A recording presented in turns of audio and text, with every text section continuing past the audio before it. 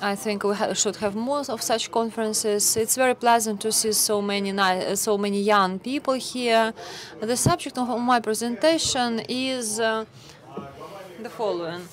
Global world problems uh, can be solved uh, through regenerative medicine, and we can now accelerate uh,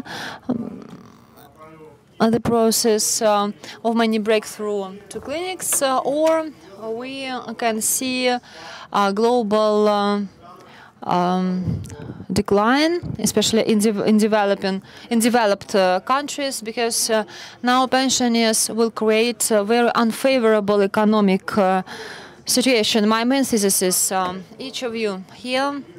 I don't see very old people. I think everybody here has a chance uh, to live uh, several times uh, longer than your parents. You should believe it. And I will explain to you now why. In two words about myself, Yelena, thank you very much. I uh, am the head of the Regenerative Medicine Laboratory and Chief Scientist, uh, Bioinformatics Laboratory. Uh, 2000 uh, since 2008. Uh, also, I I, uh, I am the head of the fund in England, um, the fund which makes a lot of researches. in 2007, since 2007, I have a project Aging Portfolio. This is a big portfolio on analysis of mere medicine grants. Um, uh, so trillion dollars uh, during last 10 years. the state allocates this money. Uh, also, recently we opened the company in Baltimore. Um, and I will speak about this uh, silico medicine. Also, I'm uh, looking for new medications in Pathway Company, which uh, also works with silica medicine. And if you are interested in regenerative medicine, you want some experience, uh, please register uh, here. Uh, we have um, uh, this group in Facebook, um, and uh, we try to um, combine the many specialists. Um, and also, here we promote a lot of projects on personalized science. Uh, my main uh, area of scientific interest and my mission in life is uh, to is to have to make researches in the area of aging. Aging is inevitable, and maybe some of you already feel this. And I already started to feel aging process, and now our life looks like this. So. Um, uh, this is evolutionary. We can split it into several parts. It's not like Shakespeare's Seven Ages of Man. We can only split it into three parts. First, we develop then uh, you go to the level when you can have um, kids. Then you care, about these kids, and gradually uh, you uh, go. But evolutionary, uh, you um, you have you expect death already um, gradually. Uh, you perceive this process of aging very normally, uh, so it's it's okay.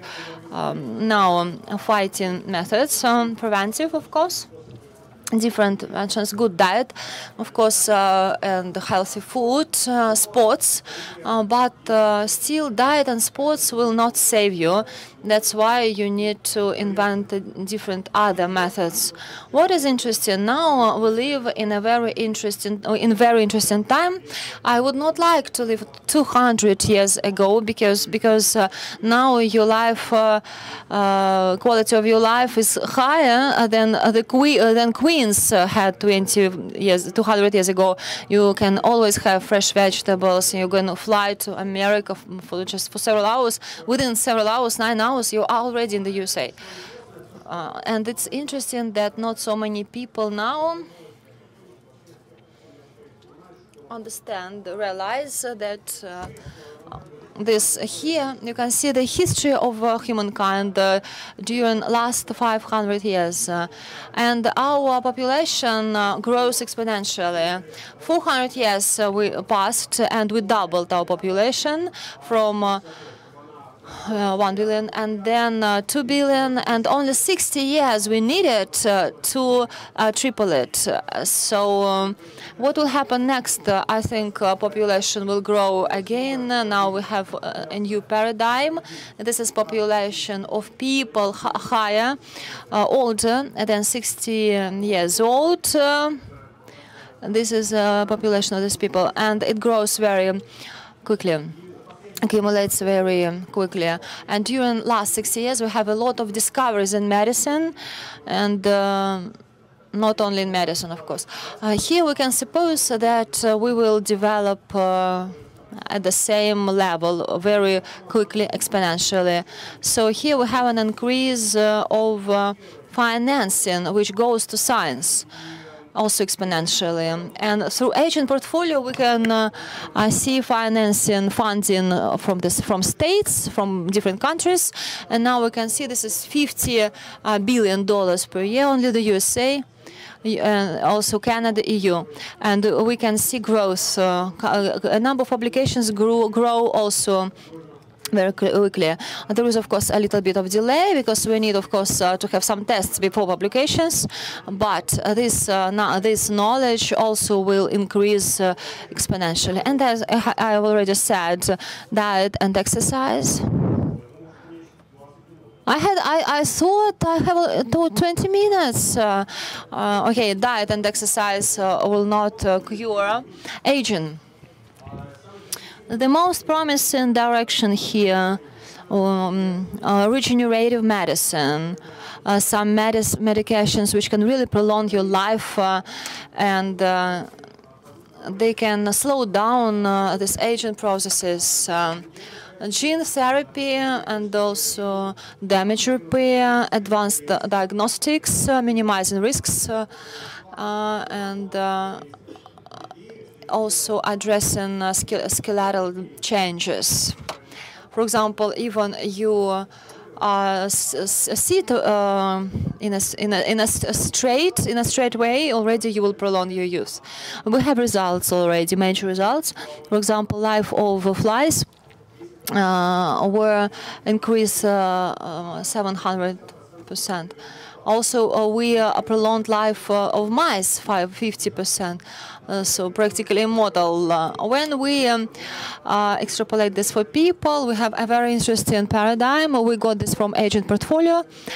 so I think um, that one um, medication will, will, will appear at the market, aspirin and Metformin, they prolong our lives, and maybe they will prolong lives of people. And how can we personalize them? How, uh, what uh, paradigms do we have? Uh, science and biomedicine are very different from IT because breakthroughs uh, come to the market very, very late, uh, practically, much later. Um, than, for example, IT has because there is a, a huge gap between an idea and uh, production mass production because uh, you you need uh, to have a lot of tests then you need to publish these tests you get patents and then you go through clinical tests. So this is a very uh, difficult complicated procedures. It can take uh, dozens uh, of years. Then you go and make uh, clinical tests and then um, you go to the stage when this product comes to the to the market and then um, also you need to expanded. Uh, and then hypothetically you can use it as a preventive measure. That's why geroprotectors will come to markets only uh, 40, 50 years after all tests done. We uh, made uh, this uh, system of Aging Portfolio and we have a lot of information in grants. Uh, we can uh, see how much money we can spend for publication and this is classified 300 categories, more than 200 experts. We um, uh, discovered also systems of machine learning. Mm, here um, uh, we have the data European Commission and uh, NSF, uh, Australia, Canada. Also, you can personalize this database with a lot uh, in a lot of ways. Um, you can look uh, at uh, trends um, in many directions of medicine. And a very interesting trend, which we can analyze also through our base and uh, also uh, through your base, so this is uh, um, interference. So uh, the technology which can um, uh, for example, uh, dampen aggression um, ex expression of one gene or several genes. Uh, it went very quickly from discovery to clinic uh, in 90s uh, it was characterized it was described uh, in 98 we had an experiment on on worms and um, then it had a Nobel Prize uh, uh, then uh, Sirna company was sold uh, for one billion dollars. Um, then now uh, a very known, well-known company, uh, Alnylam Pharmaceuticals, already came very close um, to the market with its clinical tests. and and now it costs more than five billion dollars at the market. This is really the story of success. It's also regenerative medicine. and uh, uh, we uh, speak about some kind of layers of cells. for example, also uh, in 2006, um, 7, uh, this was characterized 2013 Nobel Prize. Uh,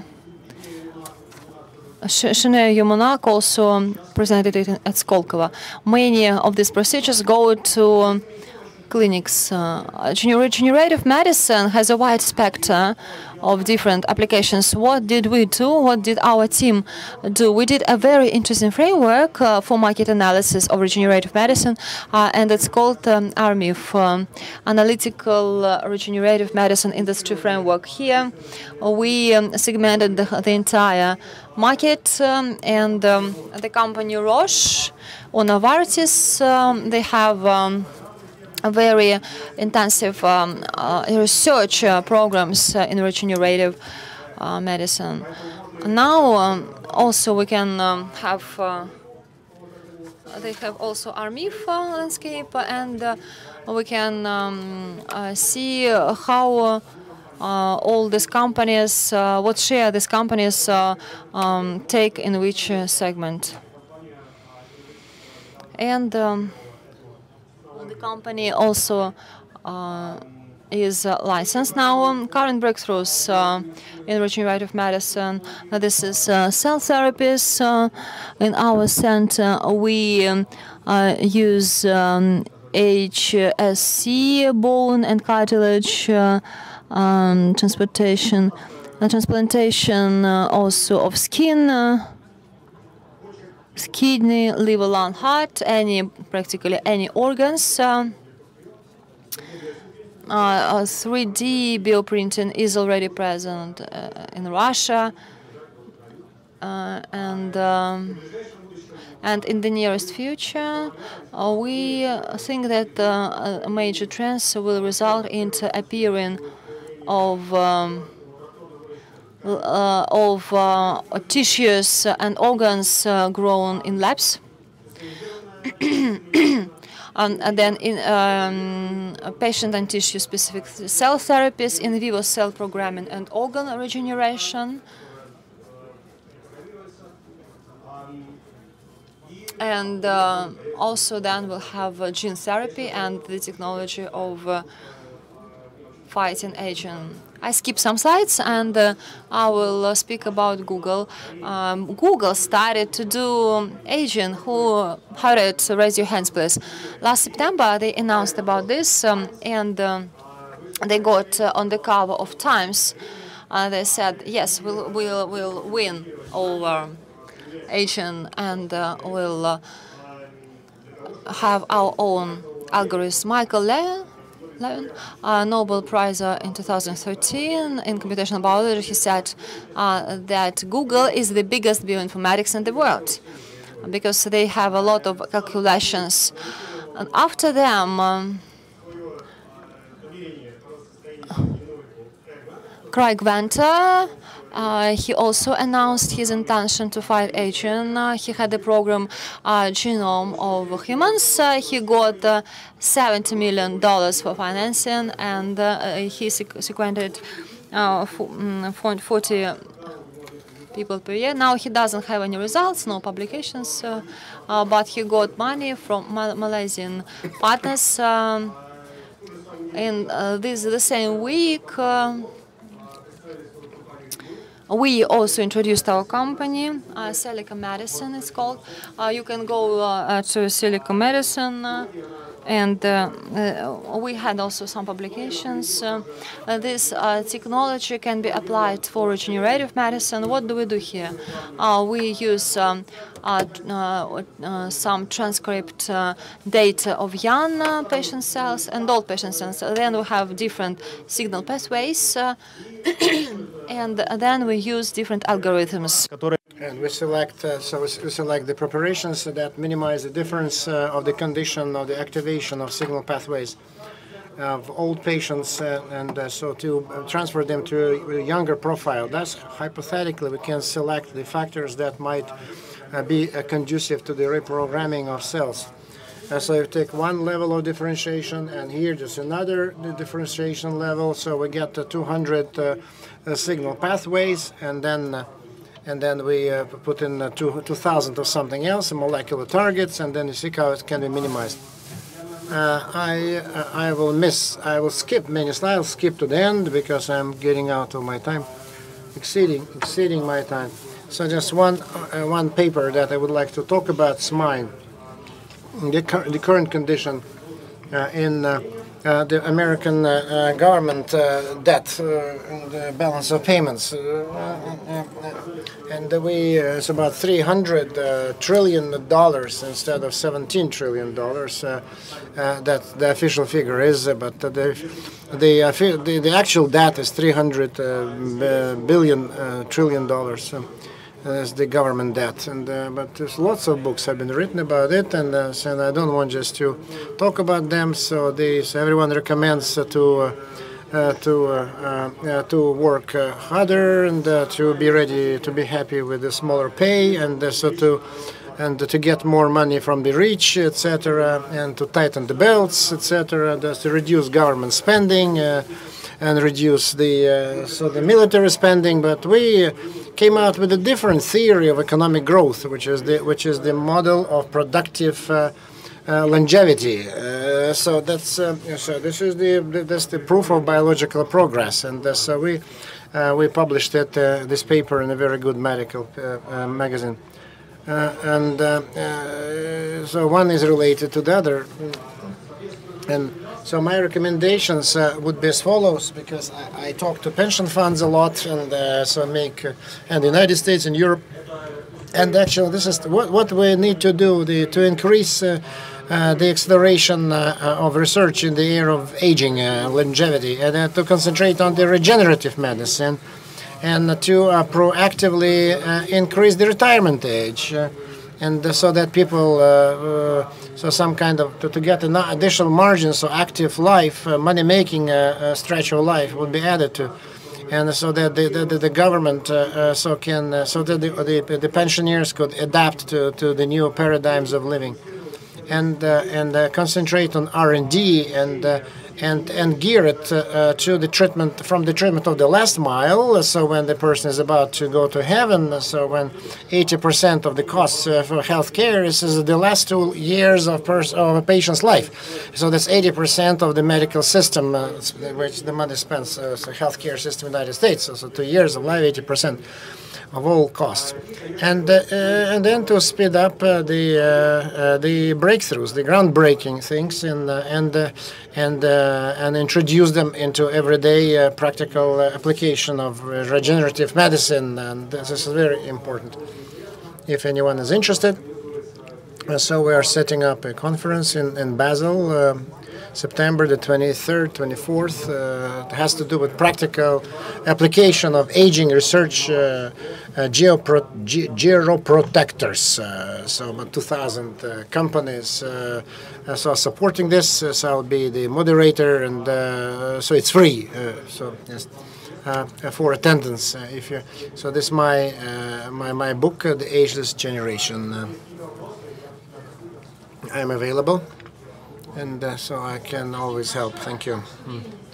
It's a pity that uh, your time is up, uh, but the subject matter is very interesting. I'm sure that you've got a lot to say about aging, fighting aging, uh, is is a tall order. Yes, and very interesting subject. Uh, uh, okay, just let me introduce some other speakers of the panel, and the Sannika Germazova.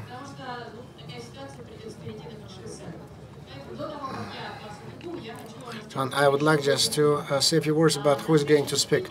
Uh, uh, so Elina Tsirlova, mm, she's a scientist from Novosibirsk. She was born and raised in the, some molecular cell uh, biology, molecular biology. She was involved in, but recently, uh, so she started to uh, work on the implementation of breakthroughs and uh, in uh, in practic- practical implementation. And she has an extensive experience uh, with regulatory uh, Uh, companies, uh, regulatory authorities, uh, because there is always uh, this procedures uh, for getting permits, permissions, okays, and uh, certainly, the United States has more experience than any other country in this case. So the regulatory framework, and uh, so then the stem cells of uh, human stem cells in the United States, and her experience, how she did it in the United States, how uh, these this uh, breakthrough technologies can be introduced in uh, and into practical plane.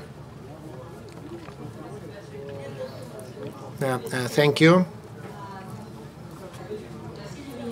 Thank you for the invitation. Uh, thanks, uh, thank you, Alex, for this wonderful presentation. And I think that after this presentation, when you heard how great it would be to live forever, uh, so my presentation will be more down to earth, and uh, I will tell you how it can be done. I will not surprise anyone if I say that uh, that uh, so from fundamental sciences uh, uh to clinical trials. Uh, so this is uh, this is quite difficult. And so fundamental studies to everyday practical. So this translation to research is quite challenging.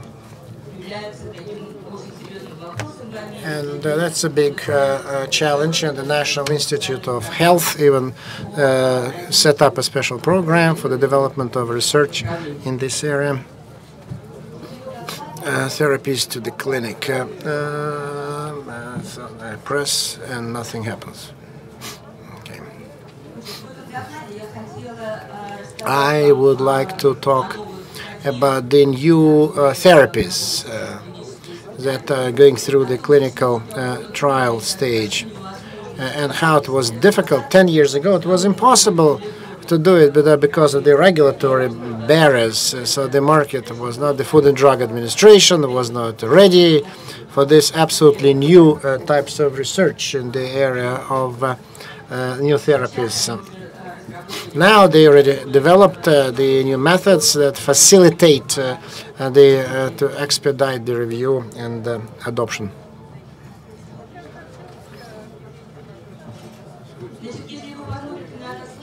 And uh, this slide suggests uh, that, that remember that the therapy uh, of the last century, so quite recently, it changes so rapidly. And for example, monoclonal antibodies. They are in the market now. And uh, gene therapies, uh, and that we they were only at the stage of research. Now they moved to the clinical trial stage already. So lots of it is gene therapies and and cell-based therapies. And uh, so the, in, in the area of research, there is a new, very promising subject, uh, which uh, gene editing and, and, gene editing. So let's see how it's going to evolve. Uh, for the investors, uh, this shift uh, in, in, in medicinal therapies, so it's always a risk and and a reward as as anything new. So the risk has to do with that it's just developing, it's uh, getting off the ground. So then, uh, and then uh, the, the new FDA regulatory documents are being developed, and, and no standards yet commonly accepted and then the models, uh, so proof of principle is, is not there yet. But the last 10 years, uh, uh, all this is quite promising uh, uh, because it's all coming up and or appearing. And uh, the trailblazers, the new companies that use these new rules, and uh, so they are being watched very closely by other companies and competitors. What's good about it is that the new, uh, the new uh, therapies, the new drugs, uh, are very promising as well. Uh, so this picture uh, has been taken from uh, uh, American Association of Cancer Research, and it shows how from uh, uh, 55, 10,000 good can- candidates. Uh, so the best case scenario, only one uh, FDA-approved drug eventually comes along, and uh, going through all these stages uh, from uh, IND submission, uh, so the application for research, and all the way down to BLA, and uh, for license, etc. That is why, in order to, um, uh, uh, if you are in for, for a success story, and uh, if you have a good candidate uh, uh, for, for a new uh, uh, preparation, a new drug, so you need to develop a good business plan and you need to, to develop, to draw uh, your own uh, uh, roadmap. So where you will uh, calculate uh, very thoroughly all the stages, how this, uh, how much money will be required, what kind of investment required, preclinical, clinical, how you're going to do that, and uh, and then certainly patent uh, is a very important component. You know about these things, but uh, I decided to mention them anyway. At the same time, so we need that uh, submission of your application and uh, biological, uh, uh, like uh, somatic cell therapies, gene, gene therapies, we'll concentrate on that. So if we're developing something like that, then it goes to CBER, uh, which is Food and Drug Biological Department of the Food and Drug Administration, unlike CDER, uh, which deals with other types of drugs um, and compounds. What what they did that helps to promote uh, these therapies uh, of new cell genetic and other uh, therapies. Uh, so, uh, Fast Track has been around for some years. So it's designed for serious diseases and and and it suggests to FDA to help uh, Food and Drug Administration uh, to expedite uh, the proper development of the regulatory framework for such drugs. So then the, the, the most recent novelty is the breakthrough therapy. I want you to know about that because this breakthrough therapy uh, certainly uh, speeds up uh, the uh, the adoption of the new drug, and the and FDA uh, promises to pay attention to this process uh, because the, the the the society is telling them that they are slowing down the process. Then uh, priority review, another term, and accelerated approval. So we need to know the key terms.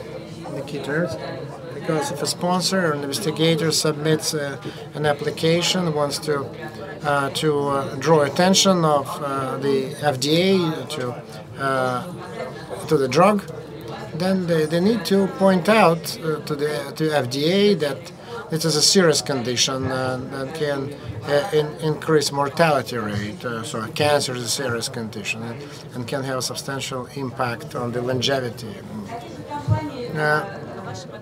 Companies that are using these new things. Let me give you some examples. Uh, so one of the uh, most uh, ac- ac- most actively working company that works with the FDA in the area of gen genetic uh, therapy, uh, Massachusetts and Cambridge. Uh, so they are using lentivirus therapy to treat some uh, hemoglobinopathy, very rare disease, CCLD, uh, Cinera, which uh, uh, and uh, and uh, so they are they get good results. The first and second phase of research uh, uh, produced good results. The results are good, success it will be a big breakthrough in the area of gene therapy, like a Dutch uh, company that registered first uh, gene therapy preparation, medicine, drug. So so we have we have one in the Institute of Stem Cells. So we have the first uh, uh, approved uh, uh gene, therapy drug as well. And then uh, other uh, subjects. All my life, I've been dealing with the tra transplantation of stem cells of umbilical blood stem cells uh, because there's a lot very promising. We have 17 patents that show that uh, uh, these kinds of cells uh, they can help to regenerate different different organs in the human body. They need to be properly raised. Uh, so then the stem cells, uh, so blood, uh, blood creating cells, so they've been manufactured since the 50s of the last century. And this is the very safe way of using stem cells unlike other stem cells, which are not yet well known. But the transplants uh, are, are made very limited number of cases uh, because uh, so there are no donors uh, uh, and uh, autolo autologous transplant are not very efficient and related donor HCT so the, the, there is a shortage of them that's why the uh, the orange uh, column, uh, which is the uh, cord blood, uh, umbilical blood, but good only for kids under 16. but for adults, for adults, it's not sufficient. Then now in the cord blood banks, we have lots of cells, and they're just waiting for their follow-up application. That's why many companies are developing such methods. And uh, so that's uh, very valuable economically because the cost of transplantation is $500,000, this tra transplantation. And any improvements uh, cost-wise in this area so will be very uh, uh, profitable. And then they fall under uh, FDA regulation about accelerated application because the treatment is for severe patients. Then uh, an Israel company uh, that uh, designed a method of prolif proliferation of cord blood stem cells. Um, they finished phase two, phase one. So we're at Duke uh, University. They showed the results. So they participate. So very promising, good results, excellent. And uh, we'll see uh, how they will make further further further progress. Uh, I'm not. I'm not talking about principles and methods. Then uh, there is another approach. Uh, is uh, to uh, get as many uh, stem cells as possible because there is not enough in cord blood cells in an adult adult person. And then uh, Torgazim is as America stem cell. They're developing another platform.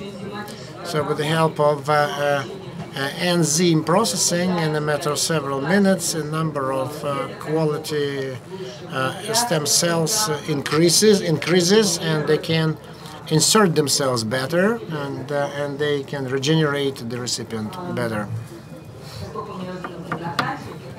I'm running out of my time and uh, let me uh, recap. Uh, so the main points, because the idea was to acquaint you with the accelerated methods of FDA submission. Uh, uh, what they uh, allow, so fast track, uh, so to so to they, they can they can cooperate with FDA. Uh, priority review, shortened review, rolling submission.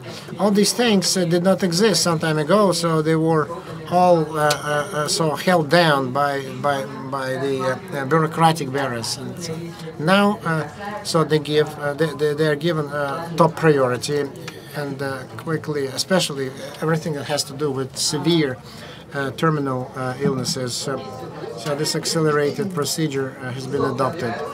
So the priority is high, and uh, intensive guidance uh, from the FDA. Uh, so the top uh, managers participate in this, uh, and this, is all, this is all about new therapies. Uh, as of May the 15th, uh, 2014, uh, so this is the number of new applications that have been submitted as of May the 15th for accelerated a clearance uh, uh, by the FDA. So 48 requests granted and 95 denied. Uh, mostly it's cancer related, cardiovascular, infectious, uh, etc. So such on- oncological uh, uh, preparations uh, have been approved, uh, monoclonal antibodies, and uh, and they, they were approved very quickly. And that's a great breakthrough in the regulatory framework of the United States. I can skip this.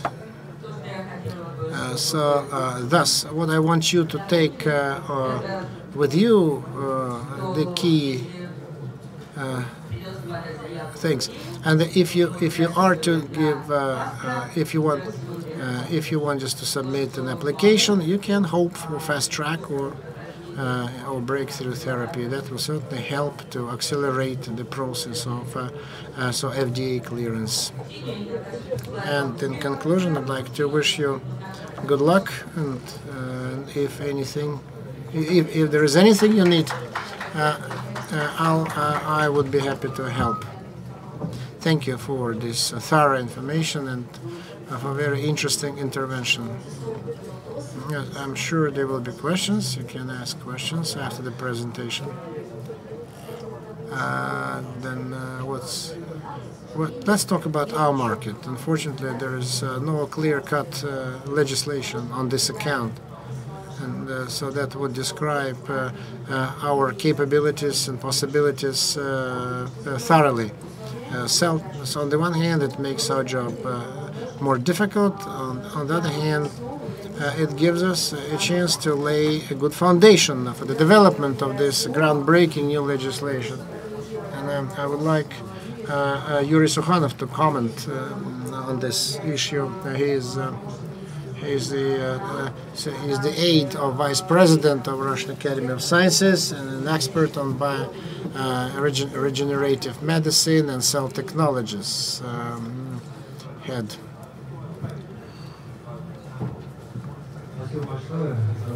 Uh, uh, thank you for the, for the introduction, for a chance to speak. Uh, uh, uh, so, what about comments? Uh, I want to point out that these new technologies, the, the, the way they come uh, and appear, or you've heard, uh, it's it's not something uh, that we don't want to deal with, and uh, it, it's not because we want just to invent it and get money for it. Uh, it's it's not that easy because uh, the issue is much more challenging because the modern healthcare system has exhausted its existing resource, mm, especially pharmaceutically wise. Uh, no more capabilities, and uh, and uh, so it's it's not efficient. Uh, it's low efficiency, low efficacy. It has nothing to do with. Uh, with uh, the in- inadequate financing. No, it's nothing like that. It has to do with uh, with the fact that the medicinal resources, therapeutical resources, so they have reached uh, the, the, the, the top plank. Uh, the, the existing technologies uh, are exhausted. And uh, so no one believes in the capabilities of uh, breakthrough medicine. Uh, uh, uh, uh, th- this is the uh, so less than 60% of all patients uh, follow the recommendations of the doctor in Russia. Uh, the 20 to 70 percent. Uh, so they're not compliant. Uh, they don't want to listen. Mm, And so then the patients say that even if they follow the compliant, the efficiency of, of the treatment is no more than 40 percent, is the official data. Um, can give you references. Uh, what about the future? Uh, that's a great. Uh, the future is great, uh, but uh, but we'll never uh, live long enough to to to see this future. Mm, not not in our lifetime.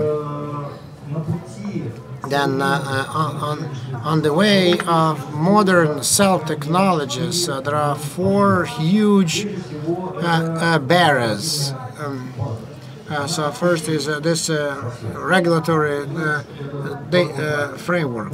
This, this two years ago, the Ministry of Health stopped registration medical technologies that had to do with cells because they, they they're waiting for the new law to come. Uh, and uh, so they stopped regis registering, uh, registering anything that has to do with cells. And so the the most recent draft of the law was ready last year, but it's it's quite good. So the Ministry of Justice made comments, uh, amendments to it, and uh, so then uh, the the turnover of medical products uh, now is undergoing the uh, the government expertise, uh, expert examination, and I think that by the end of the year it will be finished.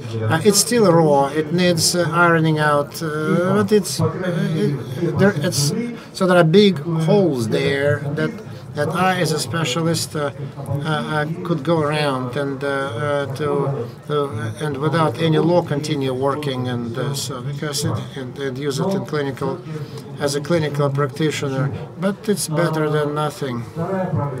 The second issue is that that our healthcare system is not is not uh, geared, uh, uh, does not yield itself to in, in, innovative approaches, because the healthcare system does not need innovations.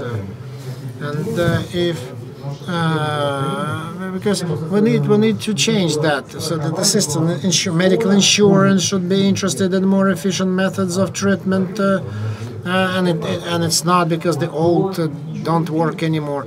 So nothing. It, we won't get the ball rolling because because our system of health and the standards of treatment, it's they are ossified. They're hard to change, and uh, and uh, so they exist only in the private private uh, sector. So for a very limited number of very rich people. So these things, uh, and then the absence of uh, infrastructure infrastructure. Uh, there, there, are very few, uh, very few, just a few number of labs that would uh, conf conform to the requirements of GMP uh, practices in the area of uh, uh, cell substances or gene drugs, genetic drugs. So there is no law, there is no market, mm, and so th there is a market, but it's a gray market, very, very gray. And the fourth point, uh, the fourth challenge uh, is the exports challenge. Uh, our market uh, uh, uh, effectively is quite small. It's not deep, and without export capabilities, no innovations in one country, so with lots of barriers on top of it, uh, it's, it's, not it's not possible to be involved in any innovations uh, against this background. That's why that's why we need to be involved in the transfer of technologies both ways, and be involved in uh, uh in structural innovations uh, in uh, our system of health care to motivate, to make it to make it more susceptible to innovations. otherwise, the Russian citizens, for me, uh, so for many years uh, will not be in a situation uh, so whereby modern medical technologies be available to them and, and I hope that jointly will handle the situation. Thank you Yuri for the information and after Yuri's presentation so we can see that there are that there are uh, goals and uh, sites that we need to uh, to strive for. And uh, and this is the actual situation in the Russian market. And so there are huge uh, gaps in the infrastructure, regulatory framework, legislation, and biomedical cell technologies gaps. And still, so there are companies that work in this area, and, uh, and we have a representative of 3D bioprinting company that and would like to to have his take on this. So he will talk about uh, so what he has so far done. Uh, Yusuf Khesuani, Executive Director of 3D Bioprinting. I don't need the remote because I have no I have no presentation. Uh, thanks, Skolkovo, for inviting me and the speakers as well. Interesting presentations. Uh, so you can age before uh, you get uh, the FDA permit and uh, and age before you get good regulatory framework in Russia. So there are many ways that you can age quickly. So what do we do to uh, uh, change the situation? Uh, so we work in the area of anti-aging uh, because aging is is a very interesting process because there is a lot there's a lot to do in that area and uh, this is why I would like just to identify the terminology because bioprinting it's a new uh, it's a new area and there is a lot of confusion about what bioprinting is. And I think that uh, we need uh, to separate this that we have uh, bioprinting and medical uh, um, 3D um, printing. Medical 3D printing, this is technology. this technology allows to create different structures from not alive materials, plastic, metal, and so on. Some other materials. Um, we can uh, produce different uh, scaffolds uh, with the method of uh, additive technologies. Uh, bioprinting, uh, this means when we have live cellular constructions. What happens now in 3D medical printing now? First, uh, 3D production of different scaffolds, and we have such startups in Russia. Uh, we have uh, uh, scaffolds and we fill them in with cells. We can also apply it within last 15 years. And the third direction, this is bioprinting itself. and in our case, this is a cellular structure.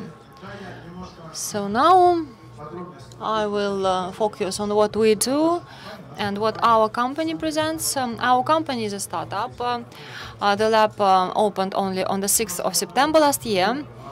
And um, our main task um, is to create uh, uh, technologies of 3D printing. What is? What does it mean? It means if you buy a commercial bioprinter, and in the world we have about 10 commercial companies which sell printers. Um, Singapore and Canada and the USA, uh, Turkey also. Uh, so um, there is a probability that you will print uh, a functioning tissue construction, and uh, but still this probability is not very high, because uh, um, it's not the metal is not enough. the process of 3D medical printing can be split into three stages. As we can see. When I speak about the spots, uh, I can show you that bioprinting uh, uh, is uh, somewhere on the board of different sciences, mathematics, uh, biology, histology, and so on. What do we need to do first? The first stage, uh, this is pre-processing, and we have to get a computer model first. And we have designers and young people who do computer modeling. We have different um, systems of computer modeling. Our, our author, this company, uh, this year, it issued now a demo version, but in one month, two months, we will have the, the basic um, version um, for 3D modeling in bioprinting, and it's called Cyborg, this, this product. After the process of computer modeling, we have a process of mathematical modeling. And uh, here we have possible coefficient of retraction, material after printing. Uh, this process, this stage, uh, is called pre-processing. And next stage, this is the process itself, um, printing And uh, here I would like to focus uh, your attention on this. That 95 uh, current companies, percent of current companies, uh, uh, they print with uh, alive cells. We uh, print with tissue constructions, spheroids, uh, and uh, we uh, get them before printing. Um, and this is a very important uh, part of the procedure. We need to get uh, uh, similar shapes, uh, uh, cellular constructions uh, in a big volume within a short period of time. Then uh, we have a process of printing itself, and then uh, this construction goes to bioreactor. Um, after this, uh, we define uh, compliance with the, the result. So if we don't have any deviations, or if a deviation is slight, uh, so in this case we can uh, already um, uh, transfuse these um, constructions to animals, for example. Um, then, uh, if we speak about experimental activity, this is um, uh, can uh, be for a, for an animal. If we speak about application in a wide sense, um, so now it's very fashionable um, uh, to apply different uh, tissues uh, for testing of uh, different medications. Now the world goes from mono layer to um, uh, three layer structures and a lot of money invested into pharmaceutical company but i think this is not uh, two point this is not a full um, uh, really uh, self-sufficient uh, 3d systems uh, what uh, problem do we have now the first problem vascularization uh, vessel uh, flow and nerve flow uh, should go through tissue structures, but these problems uh, can uh, are solved, are being solved. In Harvard, we had um, a beautiful publication on 3D printing of vessels. Uh, we hope that this direction will um, um, uh, will develop actively. I, I have a, I have questions. I will have questions. Yusuf, thank you very much. I would like to give a floor to the director of Russian subdivision of the company, Akhtrimet, um, and Alexander Sakin. I invite you. You can tell us uh, about the prospects uh, for Russian market um, and uh, what uh, barriers, obstacles do we have here?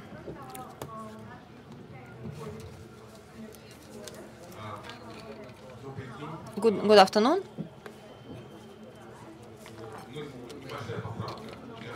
I present here.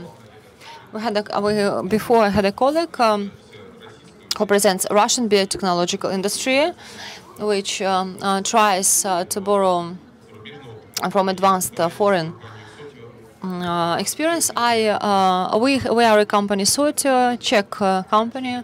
Czechia it's a very small country. That's my mistake. Um, I'm sorry.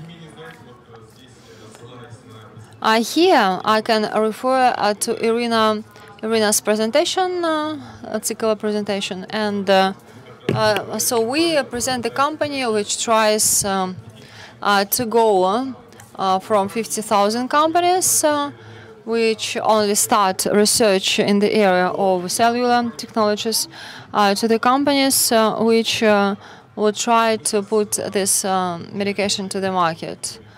Already we went uh, through fundamental barrier and um, I would like um, uh, to have to just to make some comments uh, about Russian landscape, and uh, I would like to give you some ideas. Here we are for three years.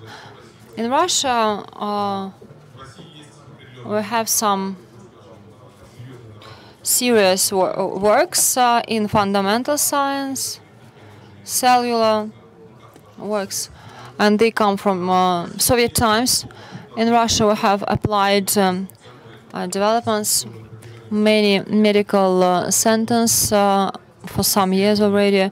Do some research. Um, this research is also um, mm, are very interesting, and uh, they tested already some promising cellular uh, medications because our company uh, specializes on ac- uh, active cell immunotherapy, especially on um, in oncology and autoimmune diseases. Uh, here we have accomplishments, uh, but um, also uh, we have advanced regulatory developments. Uh, Yuri Sukhanov already noted it uh, that we have uh, a draft, a draft, but but uh, now we have an increasing delay in our regulatory landscape, and also our scientific works also lag behind.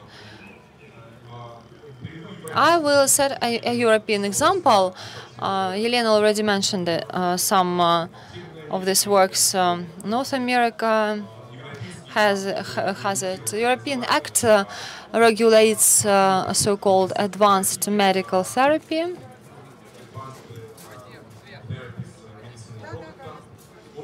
And uh, it already acts for seven years.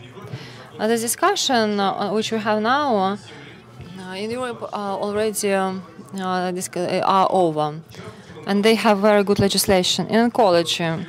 In North America and in Europe, uh, uh, they have uh, uh, dozens uh, of uh, researchers. Uh, the first uh, medication uh, in America uh, appeared at the market more than four years ago, and this is the company uh, Dendreon Provenge uh, medication. Uh, so, uh, and uh, what do we do to um, cope with it? Our patients are not worse than North American. This legislation um, and its draft, which uh, um, is being um, worked at, it's it's quite positive because it considers our realities. But then uh, it had some evolution. It looks not so bad what we had three years ago, for example. Nevertheless, I have such an impression uh, that if we adapt this law as it is, we will create um, monumental um, obstacle. Sayano-Shushenskaya um, station will have Yenisei. I have an impression that if we have this obstacle, we maybe will um, will have barrier for some uh, not uh, good uh, medications, but we'll uh, also uh, have a barrier from uh, uh, not uh, good uh, developers. And a couple of words about uh, fundamental uh, weak uh, uh, sides in this regulatory landscape, and uh, we um, uh, can influence on it also. And our experience says that we can do this. um uh, lack of um, flexibility in definition. We have a lot of claims for those definitions we have in this law. Um, we can say that in Europe and in America, this approach for definitions is much more flexible. And we have uh, uh, also the problem with uh, expertise. Uh, half a year is for this barrier. And who will cope with this barrier? I think maybe Russian companies um, and Russian companies have deficit of financing, and this barrier will be difficult to cope with. We'll also have a problem with scientific consultants. Uh, in FDA and uh, in European regulator, uh, many, for many years they have this mechanism of scientific consultations uh, when developer and regulator speak with each other and they speak very constructively, fruitfully, and they can understand where weak places are in protocols, and then they can diminish uh, uh, this work. Uh, and last, uh, I wanted to say, uh, this is our fundamental, basic Russian problem. So we'll place this um, the method of quality control and um, uh, quality of lab services. Yuri spoke about this, uh, and also uh, legisla- legislation. Here, we, I think uh, will be, it will be difficult to work even uh, with this uh, law. But if we have a dialogue between science uh, and the patients, maybe regulator, maybe together, we can um, eliminate these drawbacks in the in the drafts, uh, so we can cope with it uh, quickly.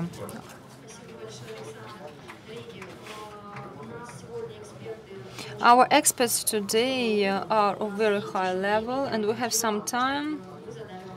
I would like um, uh, you uh, to ask questions now, please. Uh, we have this opportunity. Please uh, let us exchange information.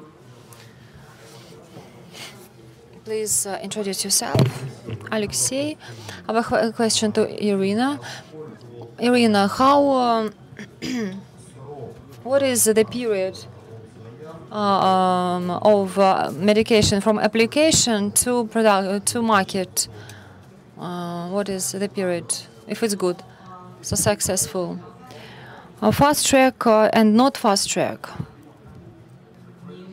It doesn't have any distinct periods of time, but uh, enough uh, shortening. FDA should answer within 60 days after your application, and if it's uh, an accelerated an accelerated process, so they can answer quicker. The same, if we speak about approval, uh, there is a reduction of uh, terms uh, from 12 to um, 6 months, but it's a lot. And um, besides breakthrough designation, this is when FDA uh, can, after the second phase, can uh, take your data uh, and um, you can have some additional researches you won't uh, wait for uh, the next uh, phase. And with this condition, how much time? I don't. Uh, um, I haven't seen uh, that uh, the medication can go um, to the market less than during five years. Maybe it will happen um, during three years in the future. Do you speak about Russia or how? I mean the USA. And what about Russia? Hello, um, uh, newspaper Izvestia. I have a question to Alexander Zhavoronkov. I want to ask you the following. I have this question. Um, uh, are you, your organization, is it relative uh, uh to Russian uh, gerontological uh, society community and uh, do is here a program for now which you recommend to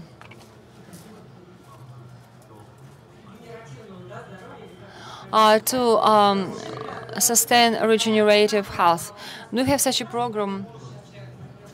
Uh, for example, people can start to take medications at 30 and uh, uh, at 70 he will be still good and healthy. How can you comment? I know that St. Petersburg company um, uh, does uh, ha has this program. It's called Gazprom People, and uh, it's not uh, realized. How can you comment on it? So the first, we are not um, uh, we don't participate in this community gerontological. Many of our um, societies they are in gerontological uh, communities and networks in the USA.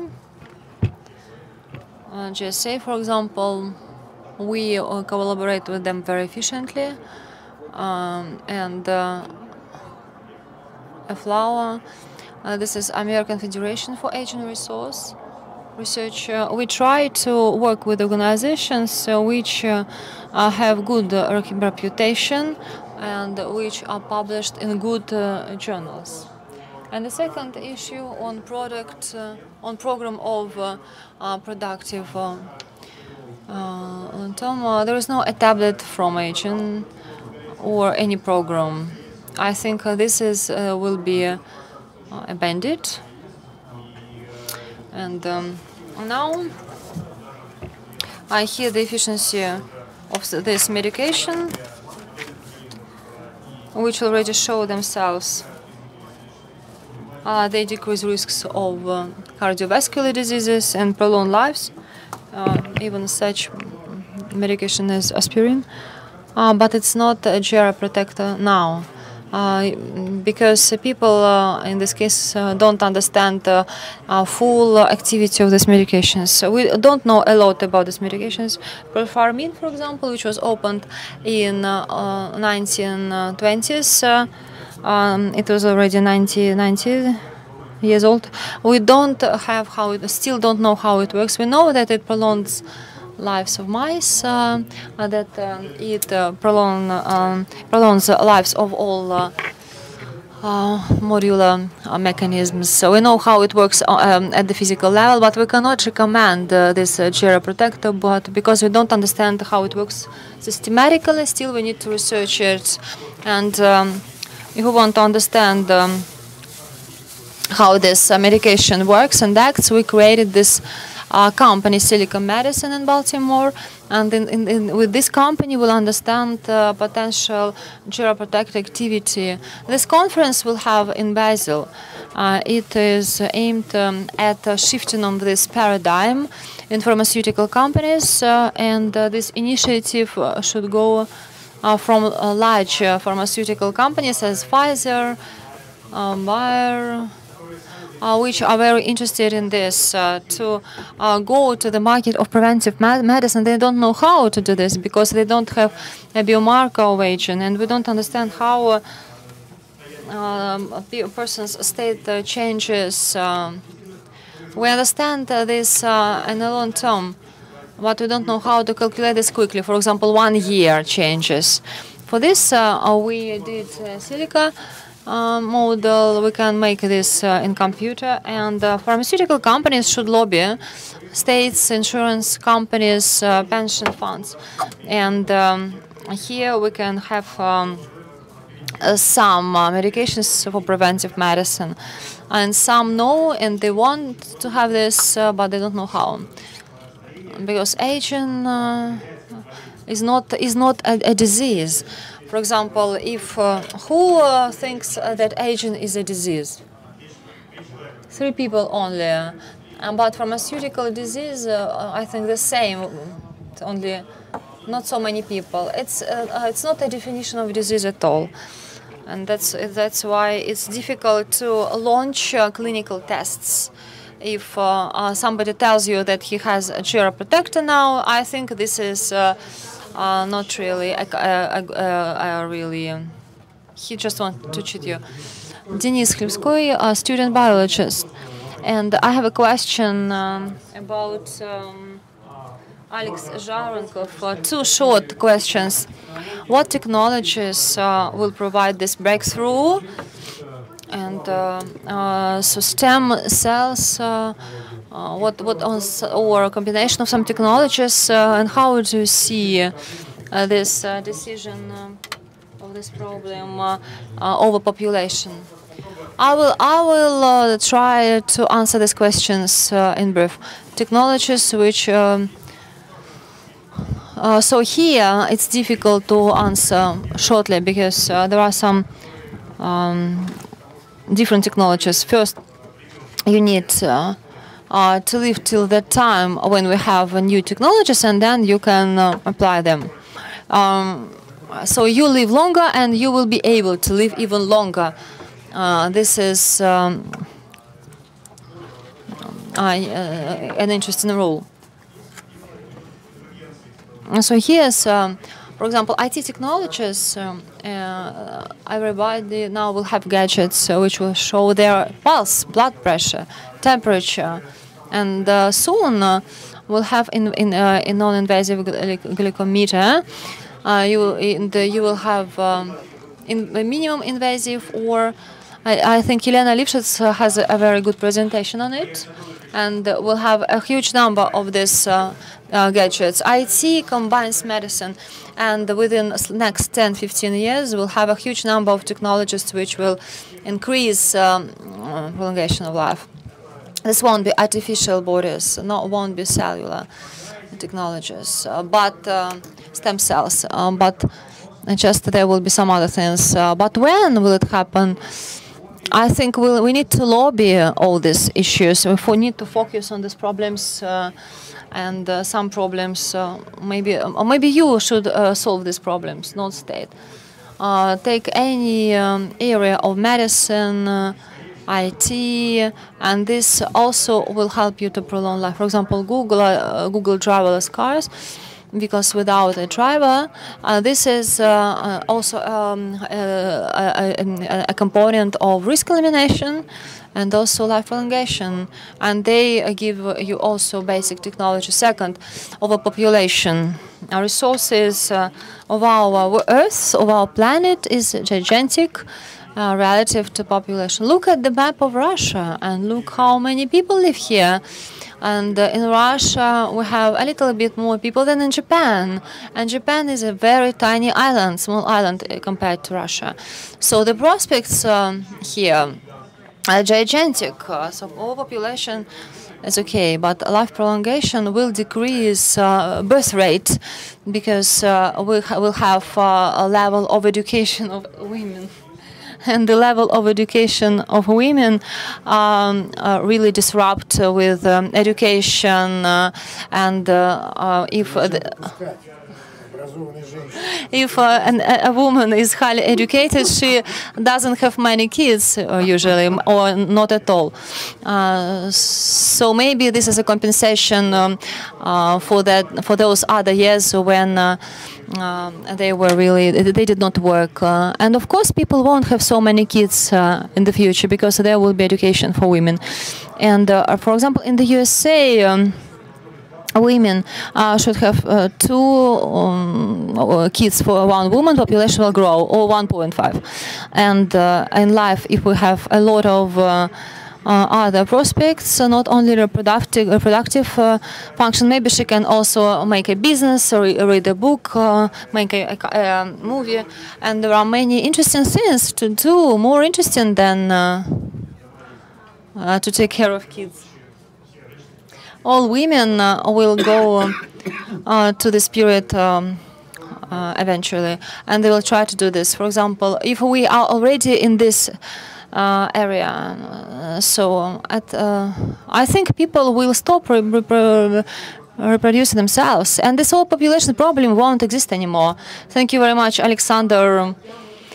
I would like to add some uh, comments uh, from live. Um, uh, we before our sessions we had uh, the, the contest in, in uh, and uh, one of our employee was here, and she had she has a son, 15 years old. Um, speaking about this correlation between the degree of education and a number of kids of, of, women, we asked this guy, "How are you?" and he said.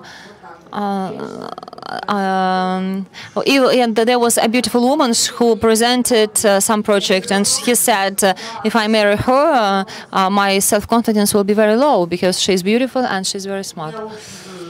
I have a question, even two questions. The first question uh, is like this: uh, There was Skulachev in um, Moscow University, and he was. Um, he presented these issues. I am here present at Skolkovo twice already, and I like this subject. But you never mentioned this guy.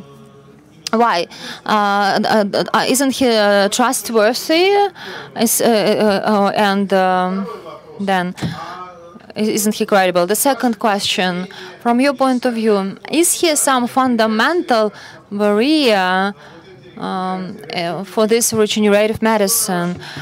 So, as I think, death uh, cannot be really uh, coped with. Uh, it's uh, here there is something fundamental uh, and um, inevitable uh, death. So two questions. One thing until the until the answer. Uh, also, in our audience, we have representatives of uh, the company uh, which develop business uh, at 3D printing. You can also ask questions, ask them questions.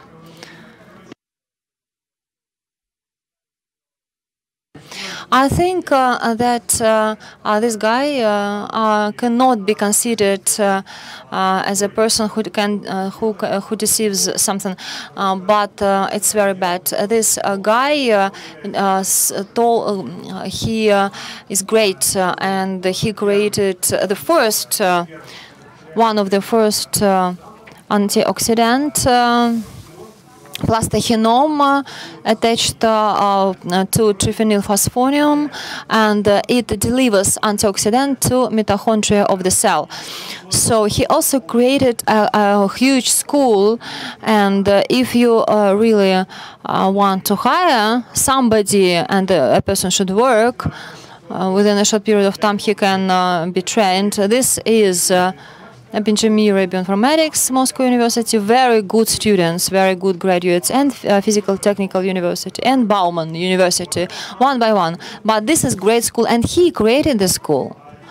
Uh, the theory of aging, I won't mention anything about it. I worked in this company of uh, Ombi Pharmaceuticals in California, uh, and uh, there was a very similar uh, drug, um, and uh, nutrient phosphorian. There was um, antioxidant. Um, maybe weak a little bit uh, than Bastion, but we used it uh, uh, to uh, treat um, pro- prostate uh, cancer.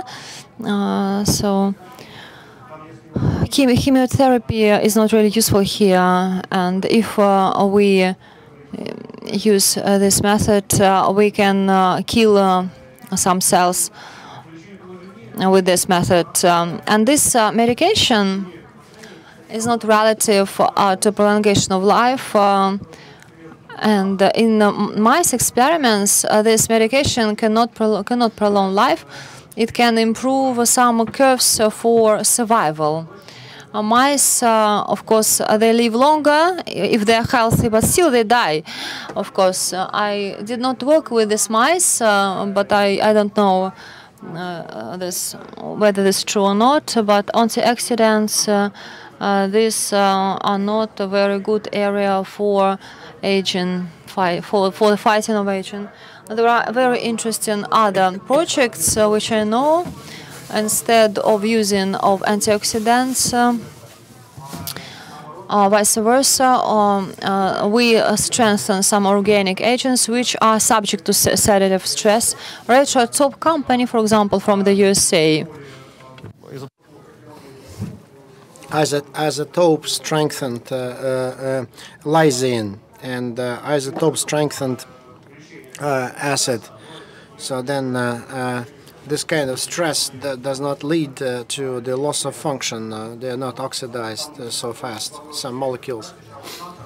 Chase Chase Kant, the genome uh, human genome project uh, guy who was involved in it, as a member of the uh, scientific council, was a giant and that's one of the methods instead of removing the air from the so we need the stress because it regulates uh, many uh, processes in a cell and, uh, so oxidative stress is important uh, when you are born so then uh, oxidative stress uh, uh, all the ingredients so you you wouldn't be born if you had not been subjected to the oxidative stress but to remove water from the atmosphere, you can paint. You can paint it, and then then your car will not rust. And so this approach is much more promising than using antioxidants. Maybe these uh, antioxidants are toxic.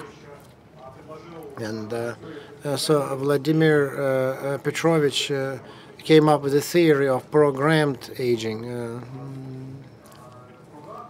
and uh, this uh, it's not uh, viable anymore. So because because programmables uh, uh, aging, uh, it's uh, they uh, they look at it uh, uh, as a hypoth- hypothesis that has that's it's not it's not it's not right anymore. Uh, but he's made a great contribution to gerontology. So he is a giant, whatever we think about him, because he set up a new school. Uh, so he he increased awareness to this subject matter, and uh, so he raised much money, and it's good that he raised money uh, for this uh, for this purpose. And many students uh, got financing. Okay, one last question. Uh, so hurdles, because aging is not a sickness.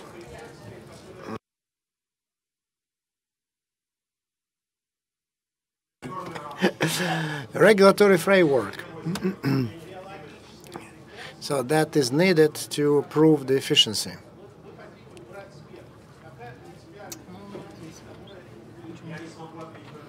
I can't answer this question because I think that people who think I had more than 30 years ago, so they are, uh, uh, so they are wrong uh, uh by by default because the technologies uh, develop very fast. So uh, at the end of the day, so theory is great, but the customers need specific numbers. so Adam lived for 900 years, Noé for 600 years, how long do you plan to stay on this planet? I will give you an indirect answer. I am a human being, I am an animal, and I am, I am uh, subject to self-survival. That's why I want to, to live as long as possible. And uh, so then in my condition, I, I, I, like this status of my being, of my existence, and I, I like to continue that living in that condition. But there's a theory, interesting theory of uh, of emotional uh, emotional uh, selectivity and relativity from uh, Stanford University. So the, the theory posits uh, that uh, what you think, how long you have to live for, determines your decision-making process and your behavioral patterns at at this time in life. And the longer your horizon is, then the younger you feel yourself. So even now, just all of us, we need to set very high goals. Let's say we're going to live for 200 years. And uh, then our decision-making process will be quite different. Self-education. We should not think that you'll retire at 65. That will never, it won't happen if, unless you're 60 now. Uh, and then and then you need to make decisions as if you were much younger. And then certainly we should not plan for a thousand years, because we need to be realistic. Yeah, so the, our expectations should be based on uh, on logic, and so we need to know. Uh, and then the pension funds base their uh, conclusions on official longevity tables and the length of life lifespan. And so now we are uh, well living in times where biomedicine will will prolong our lives uh, much faster than uh, we deteriorated with the hamburgers, uh, bad food, and environment. Okay, our session uh, should have started right now.